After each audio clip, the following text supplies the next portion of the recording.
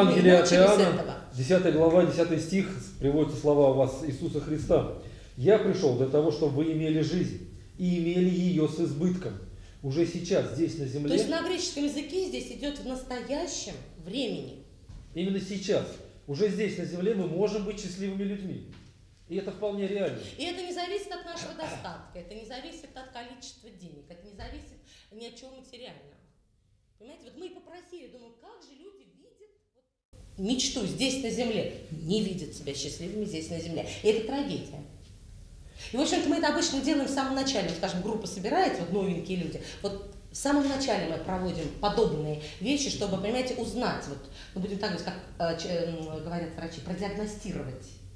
Вот насколько нужно вот э, работать с этой группой, да, привести их к этому осознанию.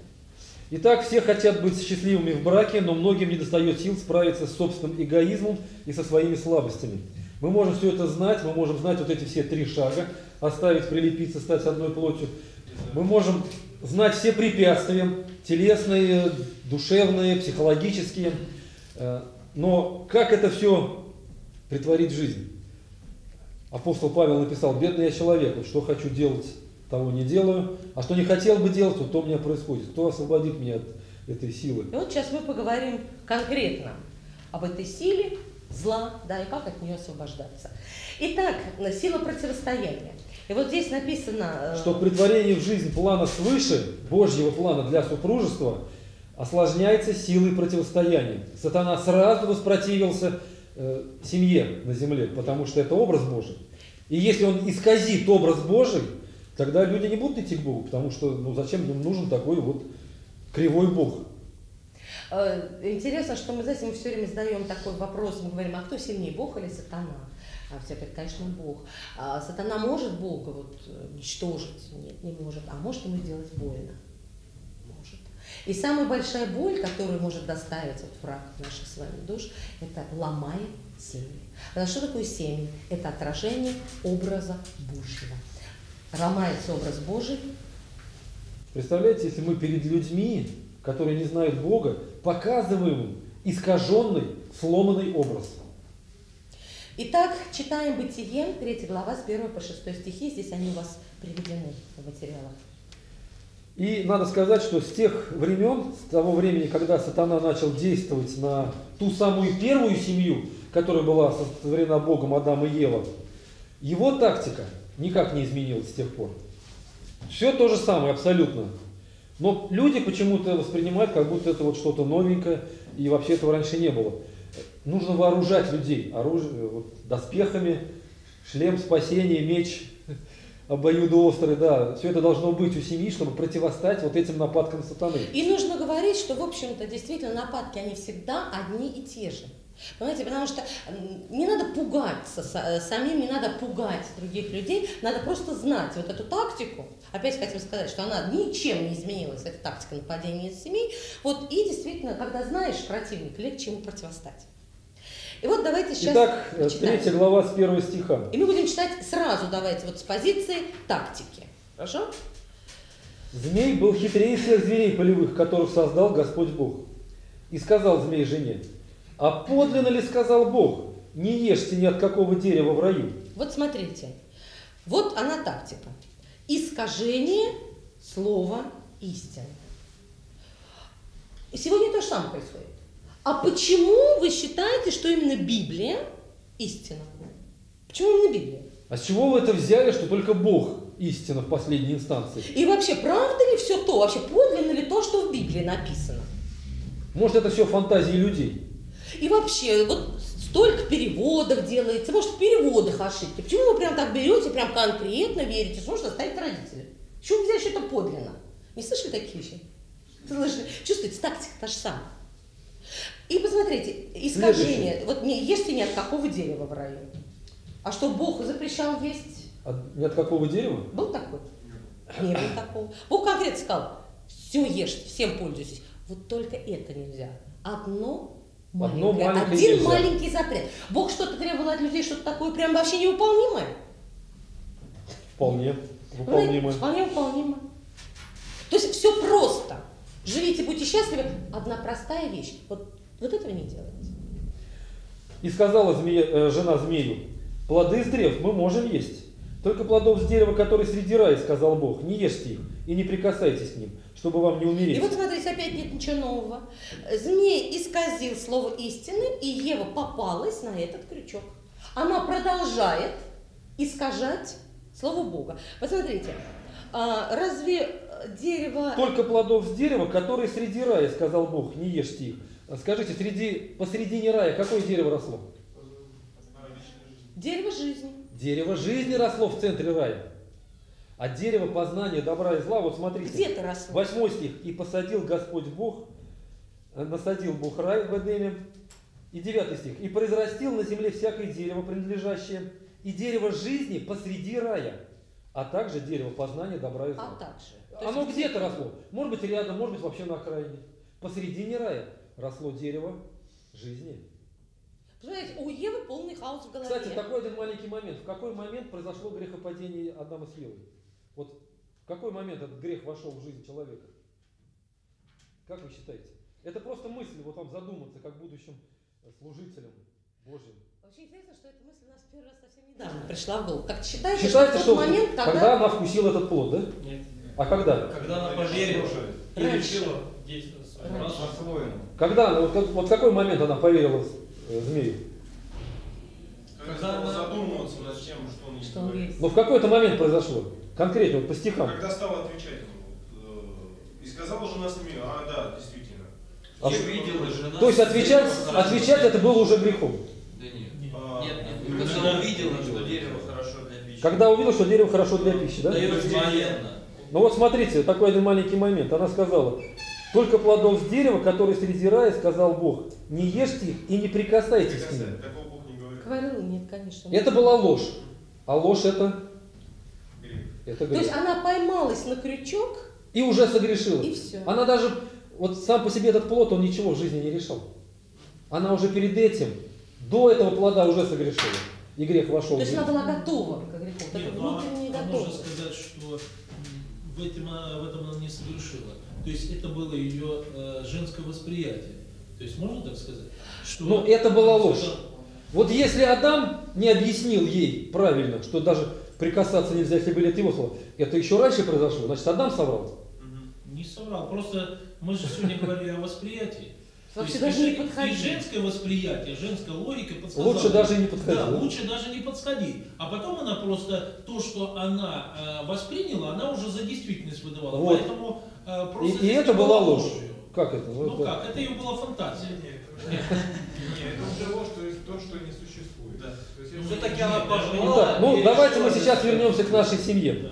Ну, в смысле, не к нашей. конечно, здесь, а вообще. здесь много можно спорить. То есть практически, вот этим, знаете, столько теологов, оказывается, спорят по поводу того, когда произошло. Но просто факт то, что мы вас призываем задуматься. Понимаете? То есть важно, чтобы мы как вот каждый момент обдумывали, когда конкретно, это, чтобы нам на этот крючок не попасться. Вот вовремя какой-то момент, понимаете, вот в своей жизни пресечь. На первом этапе мысли, на втором этапе согласие на крючок, на третьем этапе, когда уже мы берем это в руки. Да? Итак, не ешьте их и не прикасайтесь к ним, чтобы вам не умереть. Бог такого не давал повеления, что даже трогать их нельзя. Пожалуйста, ходите, трогайте. Пожалуйста, смотрите на них, подходите близко. Просто есть их было нельзя.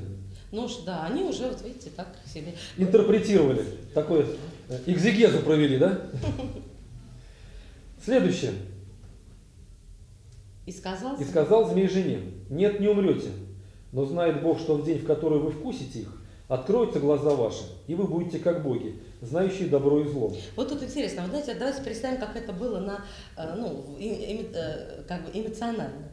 Было бы так. Да нет, да не умрете. Да ладно, ну представляете, вот, вот если представить это вот как-то эмоционально, да? Да ладно, ну во что вы верите, да? А знаете, почему он вам запретил? Да Бог просто не хочет, чтобы вы... То есть идет конкретная клевета на Творца. И смотрите, и на этот крючок Ева тоже ловится. Кстати, на эмоциях. Да, и все именно идет воздействие. Да, да ладно, ну да чему вы поверили? Чувств- вот ничего нового нет, да? Э, И такой еще момент. Вы будете как боги, знающие добро и зло. Скажите, Адам и Ева знали, что такое добро и зло? Они знали, что можно делать, а А что нельзя делать в райском саду? Они знали, что если они сделают то, что нельзя, будет плохо, что это зло. То есть они знали, что такое добро и зло. Но смотрите, что им предлагает Тут сатана. другое слово просто. Он не просто им предлагает различить вот это добро и зло. Они зна- что они знали, различали. Они различали это. Можно Но он им предлагает попробовать это на практике. Вы же это не пробовали. Вы же не знаете, хорошо это или плохо. Да Вот вы ладно. попробуйте, и тогда уже будете точно определять, что это плохо. Вкусите этот плод. Да плюньте вы на то, что вам говорится. И попробуйте. Ну Бог же зла не делал. То есть, если говорить, как боги, Бог-то, он знает, что зло, но зла он Правильно, он говорит, и вы не делаете зла, и будет все хорошо. Ну вот, А знаете, сатана им предлагает попробовать. И вот когда подростку предлагают наркотики, и говорят, да ладно, бред это, ты попробуй, это кайф. И вы ни одному человеку не объясните, что наркотик это зло с первой дозы. Потом, потом, он сам это поймет. это да, он это поймет. Но первая доза это всегда кайф. И на этом все ловятся. Когда им говорят, да ты попробуй, ты же не знаешь.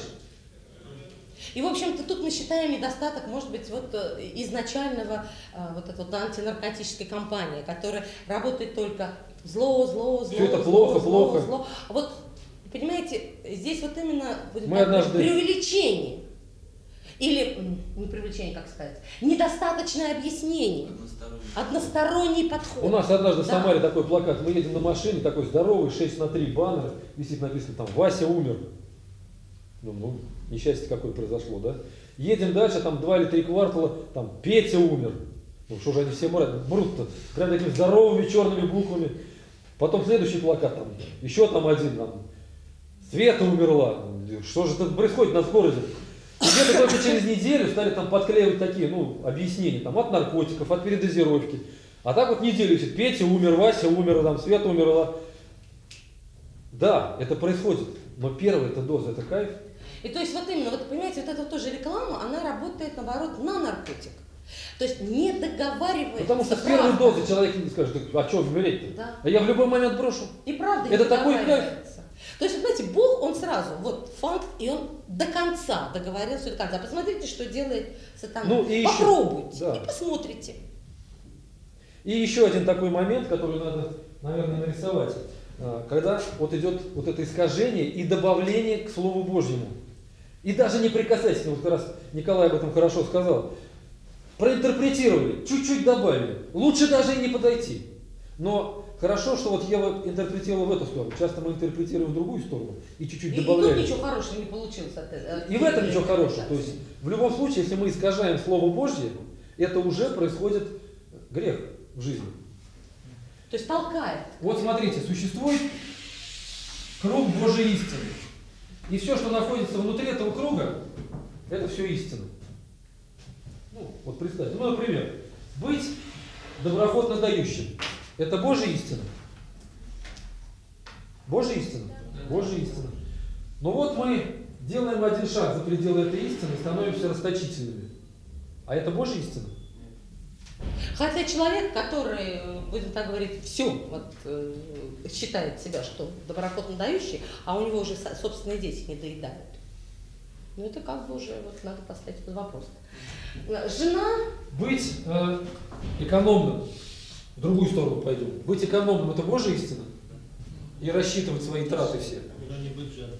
Это да, быть. а вышли сюда. А все. вышли сюда, стали жадными. Ну любой жадный, Один маленький шаг, и уже жаден. ну, любой жадный вам найдет массу места в Библии, ну, в частности, по построению башни, например, что там надо все издержки считать, бу- он вам скажет, нет, я, это, я библист. Я очень экономный. Да. Жена повинуется своему мужу. Это Божья истина. Ну, конечно. А вот жена делает шаг и становится рабыней. Ну это еще лучше, старание. Да, и вот такая жена рабыня, она вам докажет, и муж ее докажет, у него- у него самая-самая вообще библейская жена. А там уже вот, вот оно. Как однажды э, пришла к нам женщина одна и говорит, «Э, у меня муж э, тиран, деспот и сексуальный маньяк. Мы у нее спрашиваем, а в чем это выражается? Говорит, «Да вот не дали, как на той неделе, он мне сказал, «Э, понимаешь, я уже старенький, Ну, я уже 7 лет женатая. Я уже в возрасте, я, ну, я привык к тебе и не возбуждаюсь.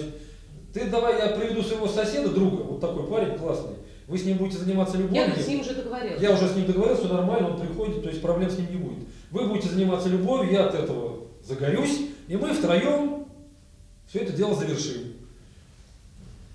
Маньяк. На самом деле маньяк. Понимаете, ну вот годы нашей работы научили нас не делать поспешных выводов.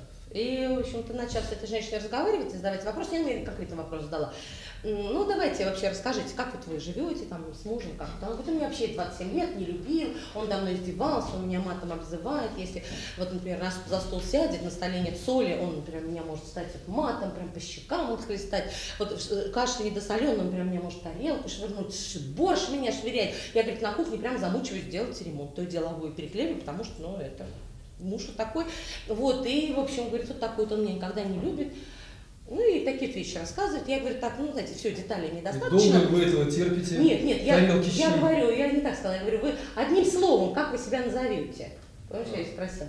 Она, знаете, не задумывается, говорит, жена, я, говорит, я, например, могу сказать, я на первом месте, жена друг. На втором месте я бы себя так представляла, там, жена любовница. На третьем месте я себя так назвала, жена, там, мать наших детей. Ну, Ну, это моя градация, как бы. А вот вы вот свою градацию, как жену вообще, как вот вы расставите? Она пишет, она же говорит, жена рабыня. А потом так сама, знаете, сама назвала. Я не это, а потом говорит, ну я бунтующая рабыня.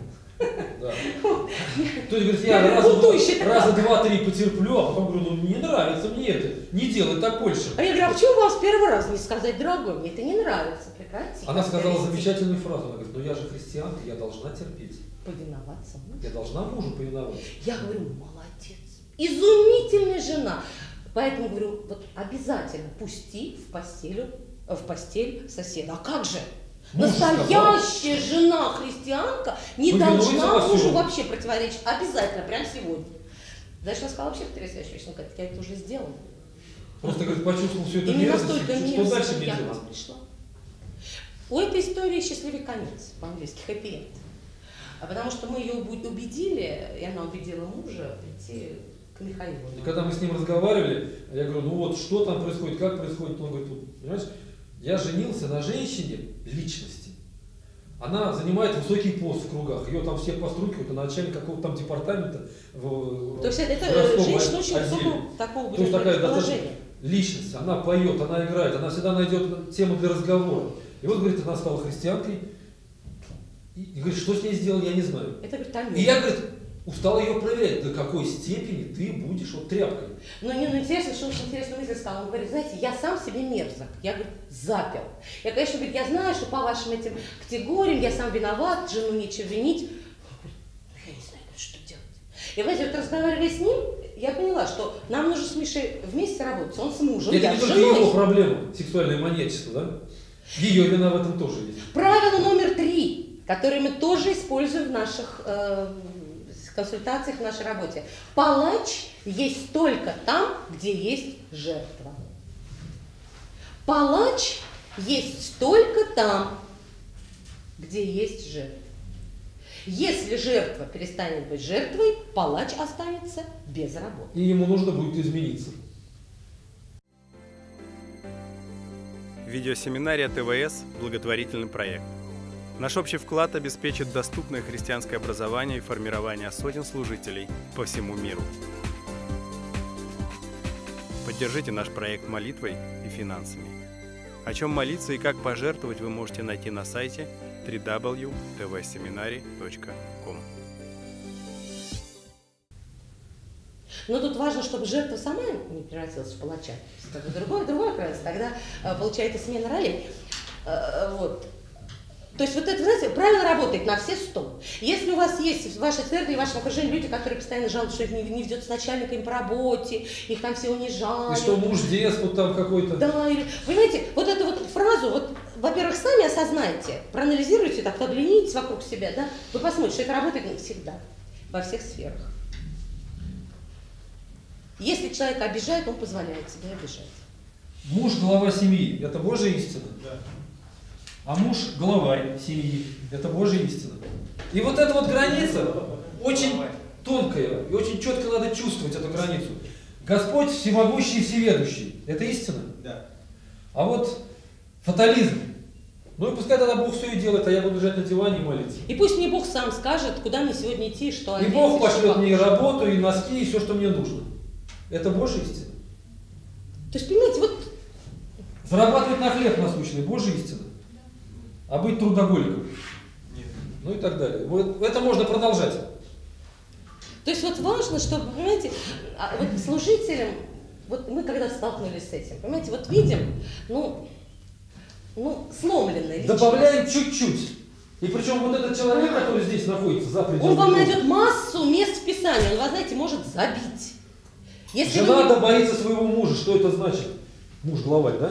Значит, она должна забиться в угол и дрожать к моему приходу.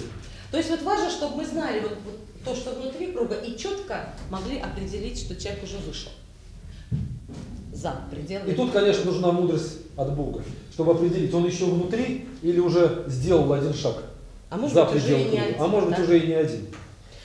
Читаем дальше.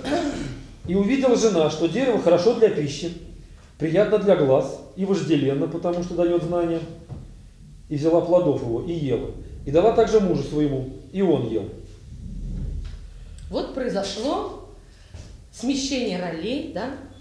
Поменялись ролями. Кто принимает теперь решение, что и как должно происходить в семье? Жена. А муж только лишь повинуется. Дала мужу, и он безропотно это дело съел.